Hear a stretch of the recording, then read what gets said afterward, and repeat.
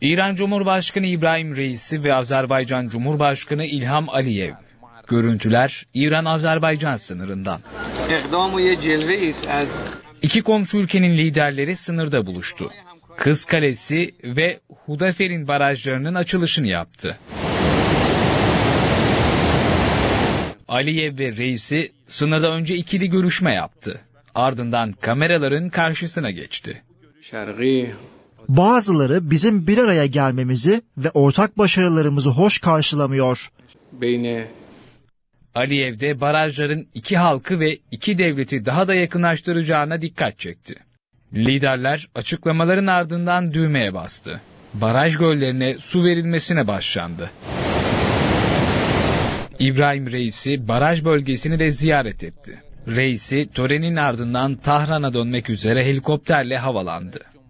İran Cumhurbaşkanı Reisi'nin Azerbaycan Cumhurbaşkanı ile birlikte İlham Aliyev ile birlikte bir açılış yaptı, bir baraj açılışı. Oradan dönerken Tahran'a helikopteri kazaya uğradı.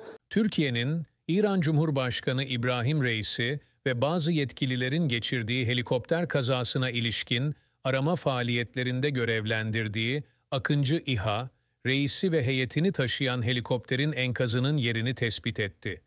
Akıncı İHA, İran'daki görevinden başarıyla döndükten sonra Van Gölü üzerinde Ay Yıldız rotası çizdi.